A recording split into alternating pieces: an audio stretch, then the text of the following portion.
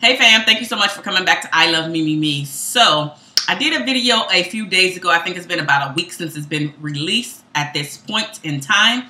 And that video was why it's important for you to love yourself, ideally before you enter into a relationship. And a viewer in there, or my subscriber, I should say, actually asked me to answer a follow-up question. And that question is, how do you know when you really reach that point of you truly loving yourself. I have multiple points. Is this the catch all be all end all list? Of course not, but we're going to jump in right after this.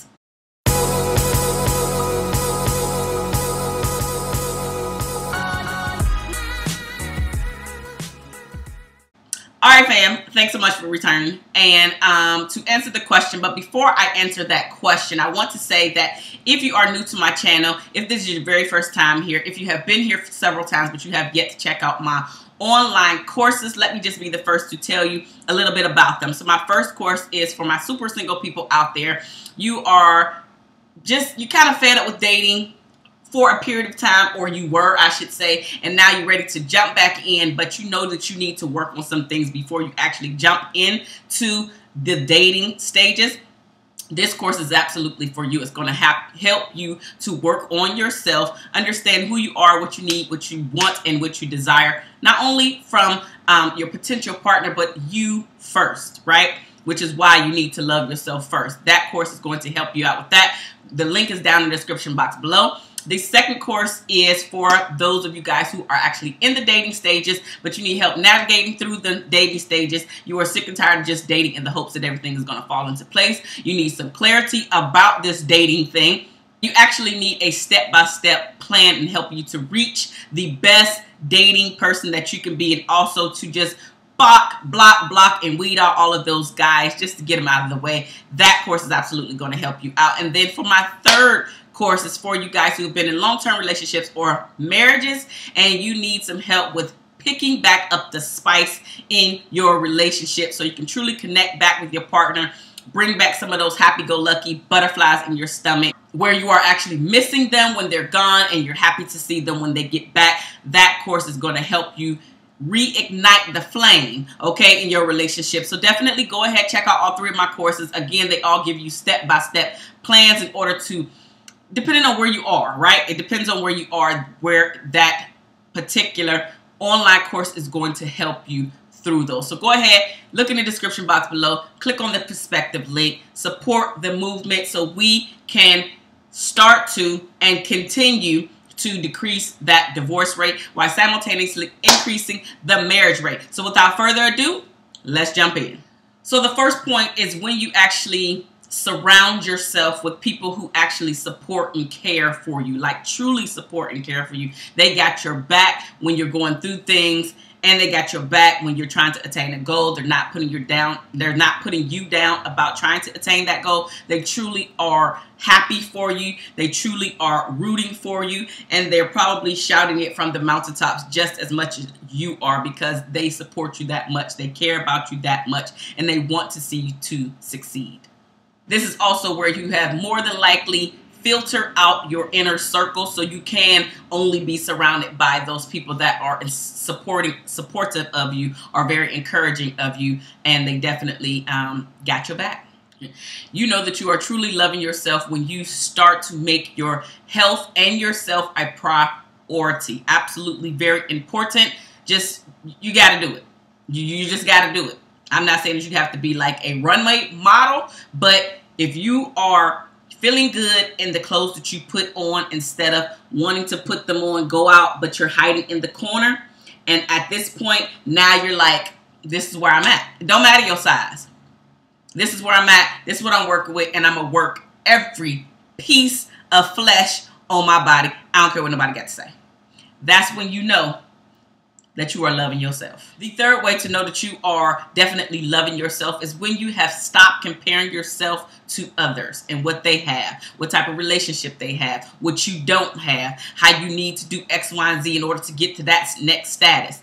You are working on you, and if you're not happy with yourself, you're still not comparing yourself to the next person where they are. You're just trying to do better in what you can do better with, not you trying to keep up with somebody else. So you you are over the comparison stage. That's when you know that you are loving yourself. The fourth way to know that you are now loving yourself is that the negative voices in your head that used to demean you are now positive affirmations. You are basically over all of this negativity, like taking over. I'm not saying that the negativity is never going to come because it is, but you get over it a lot faster. You can move on. And at the end of the day, like I said, they have now, by and large, become positive affirmations. The fifth way to know that you are loving yourself is that you are now going after what you want. Doesn't matter what it is. If you say it, you are making a plan to go after said thing. And you're going to do it. The sixth way to know that you are loving yourself is that you actually enjoy spending time with you one on one. It doesn't have to be with anybody. It doesn't, I mean, seriously, I mean, not trying to knock the kids or the spouses or anything, but you don't even got to be around any of those people, let alone friends and other family members. And you just, get you good. You is A-L-K. Okay? Like you don't need to be outside of the household. You don't need to be surrounded by 50 million people in order to feel loved, in order to feel important. Like you good by yourself. The seventh way to understand that you are loving yourself is that you are, or that you are a more grateful person and you are grateful by and large about any and everything, especially the small things. Like you're just grateful. You're just grateful, happy, person and and you're like you know what this has been brought into my life and i'm just so happy with what i got. The eighth way to understand that you are truly loving yourself is when you are truly happy for another person's achievement. Friend family co-worker whoever it is i mean you like going hard in the paint and like like i said you're being their cheerleader and you're very and you're very very happy and truly happy for them with like no shade like soon as they walk away, you know what I mean? Y'all know that shade that I'm talking about. In their face, you're like, oh my God, yeah, girl. And then as soon as they get, she always get hit, or she always, or whatever it is, or he all, you know, that haterade that you throwing. You truly know that you love yourself when you can seriously uh, give somebody an actual compliment and mean it. Cheerleader in their face as well as behind their back. The ninth way to know that you are truly loving yourself is that is when you know and believe that you deserve that great things are going to happen to you. Like they are. Just no no doubts in your mind. And if your doubts do come they're here for a split second and then they are gone.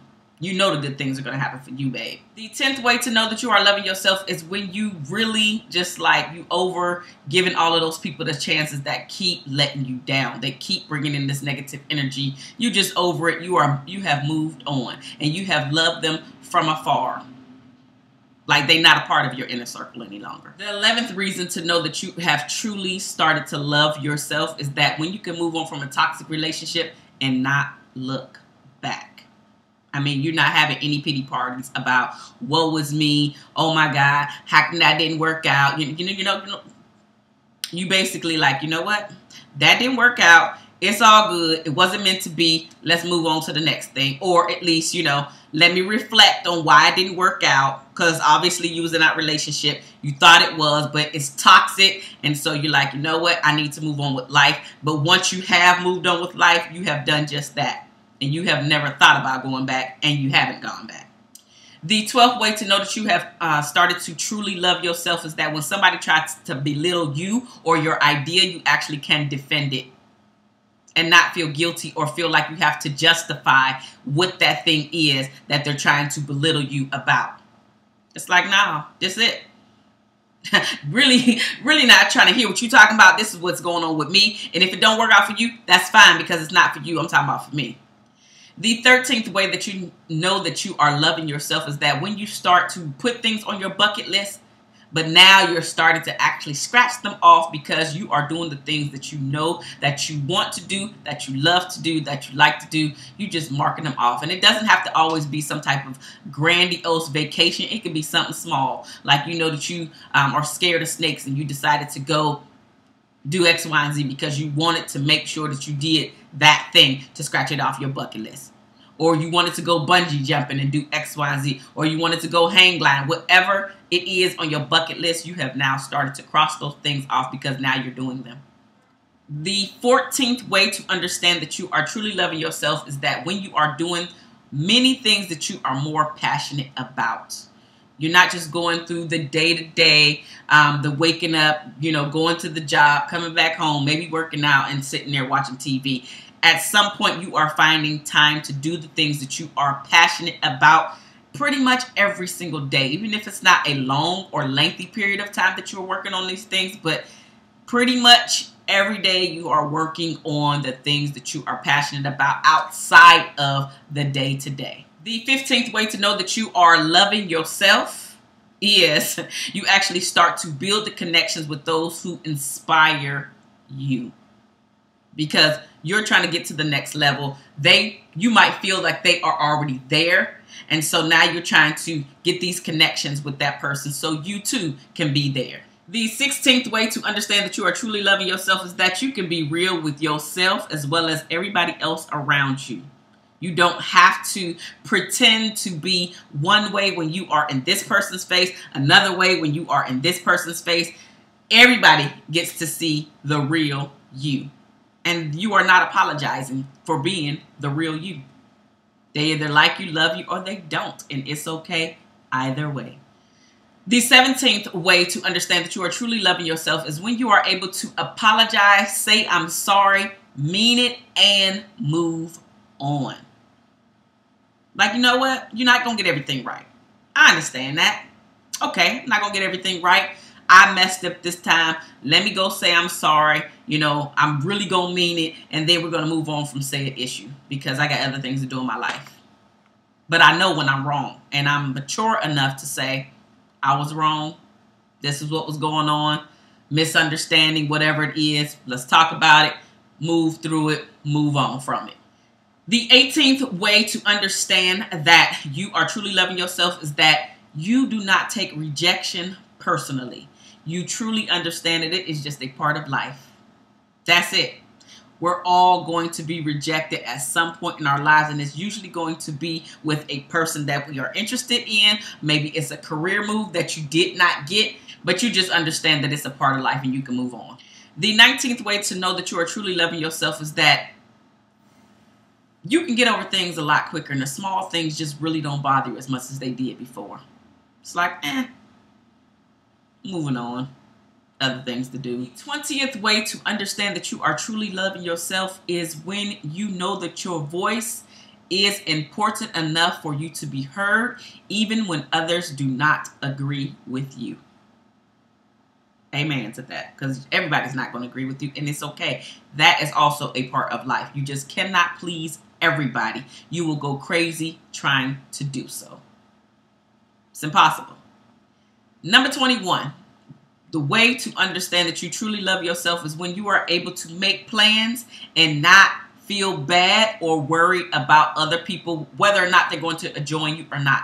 They are welcome to join you, but if they do not, that is not going to stop you from doing said thing that you truly want to do. You're just like, okay, they're not going to join me, move on with life, you do it. Number 22, you become the voice of optimism to your friends and family. Yes, yes, yes, yes. I mean, I have to brag on myself a little bit because I've, I've been the voice of optimism to my friends and family for years. And not not to say that they're not helping me, you know what I mean? Sometimes I get down in the dirt myself, but by and large, I'm always the happy-go-lucky, very optimistic. I am the person that's going to see the glass as, as half full versus half empty. I'm just saying, like, Go out there and do it. Don't matter. Don't matter. Just go do it. Number 23, you smile so much more. Your life is so much more fulfilling. You are more passionate about things. You are attaining and reaching goals and career goals and just goals in general. Things that you've been wanting to do. Like I said, marking things off your bucket list, you know, becoming the voice of optimism. You just are smiling about life overall so much more. Number 24, I kind of mentioned this before, but I'm wording it a little bit different. It's basically that you are super happy and proud with the person that you are staring at in the mirror. Very proud of that person looking back. You're giving yourself props and you are standing in your own and taking it all in. The 25th way to understand that you are truly loving yourself is when you are creating a phenomenal life and you going out there to get it. Ain't nothing stop you, ain't nothing holding you back. So, family, these are the 25 ways to truly know that you are loving yourself. What did you think about them? I definitely want to know down in the comment section below. Of course, as I mentioned earlier, check out my online courses depending on which perspective course that you need to sign up for. Definitely, definitely, definitely, I have been getting nothing but positive feedback about the courses. So I want you to help to support the movement. Keep all of my videos free for you guys here and that is a way to do it. Just go ahead and support the movement. Definitely give me thumbs up. Of course share the video with those who you know need to see it. And if this is your very first time here go ahead and hit that red subscribe button because here at I Love Me Me I'm supplying you guys with all of the tips and tools in order to have happy healthy romantic relationships. I will see you in the next video. Deuces